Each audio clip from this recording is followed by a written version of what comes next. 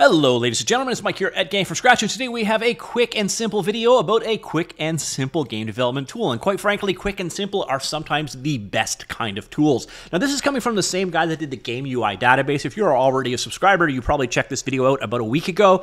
Uh, it is an excellent resource. The ultimate reference for interface designers is what they say, and I think that's pretty accurate. A gigantic collection of um, you know game UIs that you can drill down to, get a ton of different information on them, sort them by a variety of different categories if you are developing game UIs, definitely the game UI database is something you want to be aware of. But that's not what we were talking about today. No, what we were talking about today is Padcrafter. Again, from the same guy, uh, Edd Coates, and that's why, why I'm talking about the other project as well. So what's this one about? Well, this is for designing controller UI layouts, and that's pretty much about it. So if you're trying to decide how to map controls to a controller across a variety of different platforms, that's what this one is all about. So for example, we can load an example in. So let's say we wanted uh, Elden Ring.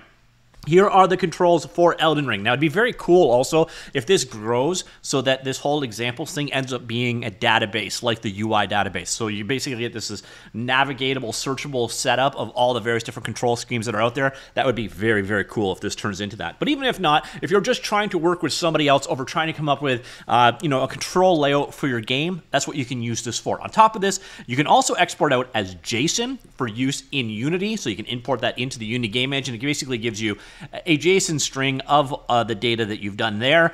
Uh, also coming soon, but not available yet, you'll be able to export out this image right here as an SVG or a scalable vector graphic. So you can actually use this as a graphic generator for uh, your help or documentation or your materials, uh, whatever. So that's actually another cool thing here. But what you do is use this to design the layout of your controls. So here you can see you've got a couple different setups, the menu system and the combat system, and then you just got a mapping of what each actual item does. Now, one thing to be very aware of though, um, if you're using, for example, a Retina Mac, the default scaled resolution is like 1512 by 8 something.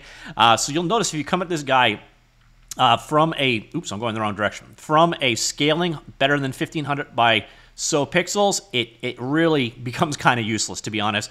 So if you're using a Retina Mac, your default resolution, it's not going to look good. Just scale it out a couple times, it will look much better. So you can change the controller colors available over here. Probably the coolest abilities, you can actually switch between console layouts. So here you can see the controller mapping for the PlayStation version in yellow. I'm going to go with purple though, because purple is a much cooler color.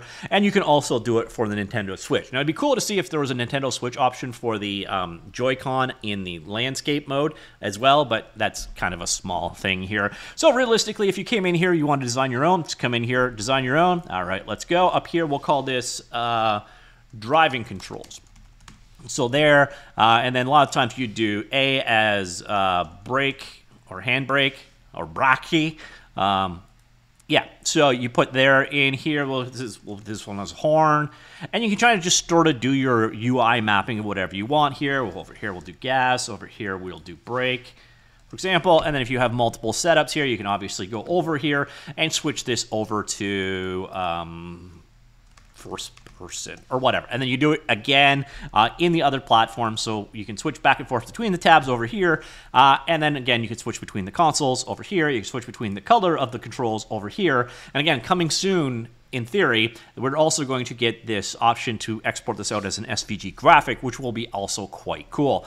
Uh, and you also have this canvas option here, so you can get rid of the uh, the bars that you saw and literally just have your answer. This, this will look better if we go back to uh, a control setup here. So you can actually go here to clean canvas and then get rid of the uh, you know underlying text enter areas so then if you're going to do a printout graphic of your control scheme you could do it this way and then really the only final thing that you've got here is you can save and share and really all that is is it's a url with the encoding information in the url string so then if you're sending if you're working with somebody else Simply copy that URL to the clipboard like so. Go on over to a new browser window. They will just click that in and boom, they have your copy. They make edits. They send that URL back to you and bingo, bango, presto, you have your new UI layout. And again, you can get this guy out in JSON format. Uh, you can see the string that it generates right there of all the various different options for use in, you know, if you wanted to do an importer into another game engine or if you want to import into Unity for a control scheme, you could do that there.